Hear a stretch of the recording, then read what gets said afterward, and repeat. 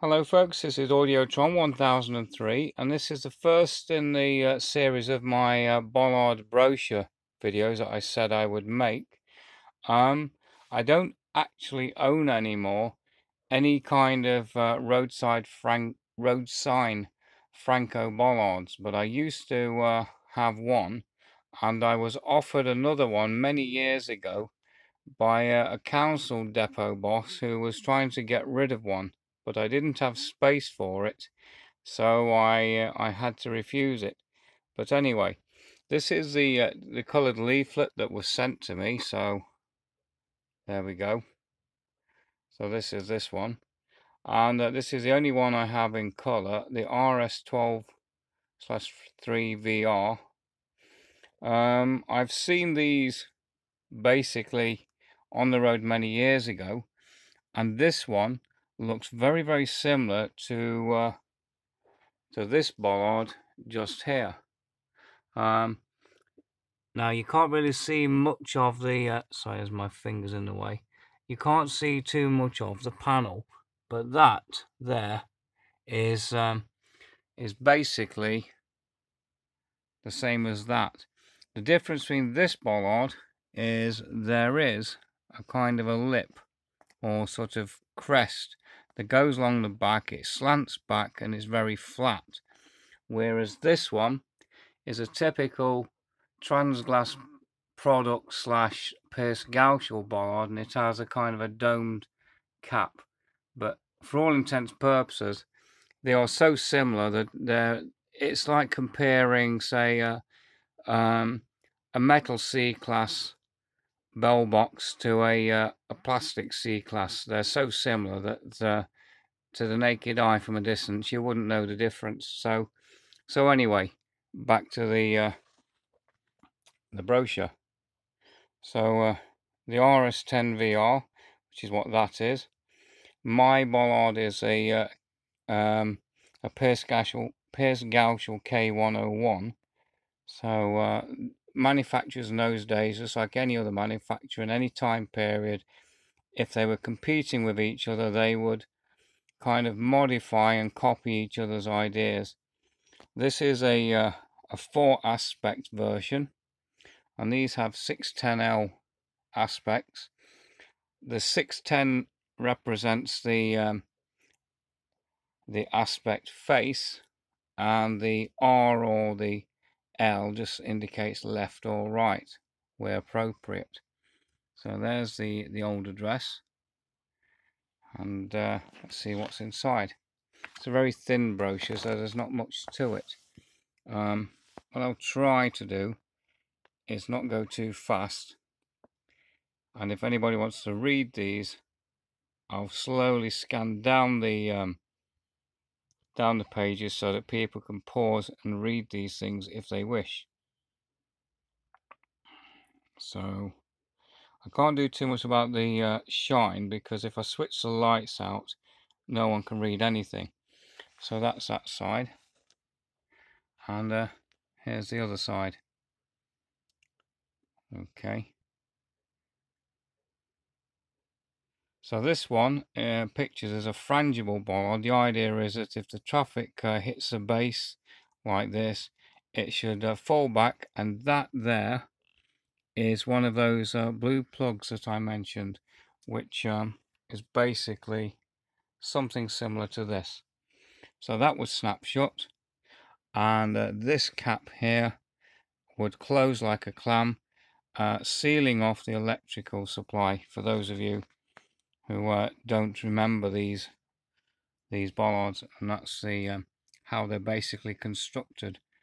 Things are slotted inside each other so the metal base this steel metal base is on the outside and everything slides in and then the cap goes over the top. There it is. And uh, and this is the rest of this. So okay. So the GRP which is glass reinforced plastic okay and if I turn to the back page we have an RS 11 600 millimeter uh, single aspect these are mainly used in junctions motorway junctions that kind of thing large roundabouts don't see too many of them these days, if at all, because a lot of the metal bollards have been removed because of health and safety reasons. They damage cars. Um, they're very heavy as well.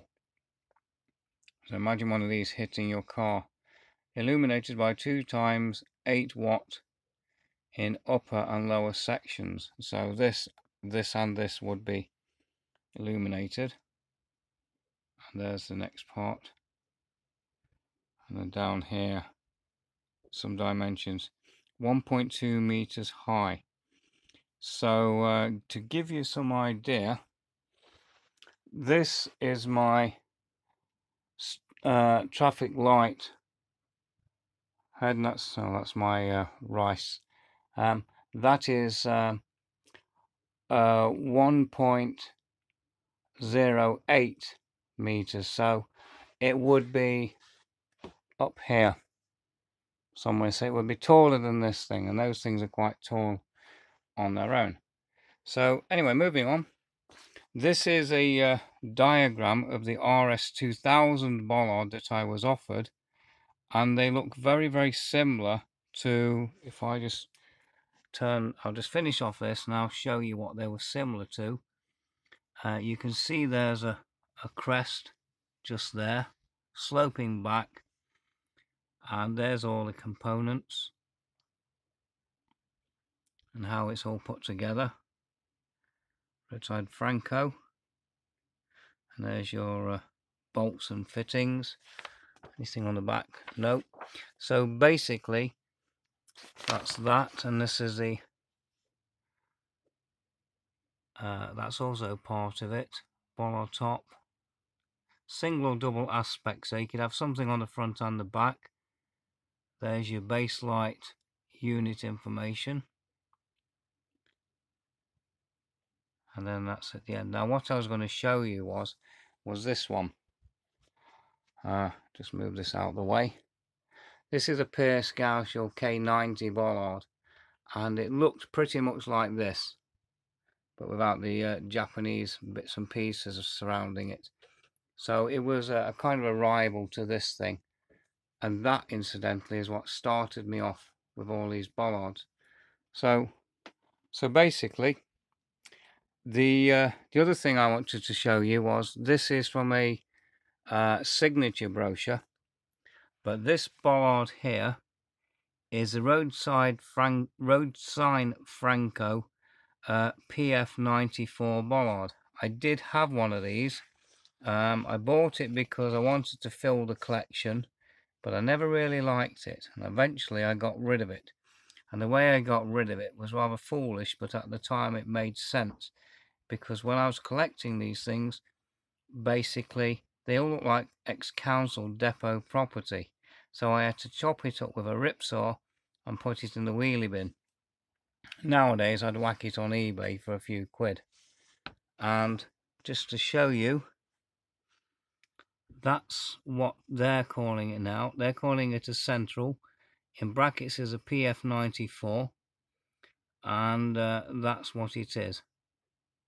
So, uh, so you'll often find these with uh, black lines around the uh, around the yellow panels, rather like that sort of thing. So that is an X. If you ever see them, those were originally made by uh, roadside Franco. So anyway, that's the uh, first in the brochure. So I just turn this back. So this is the uh, very simple video on a very small um, brochure.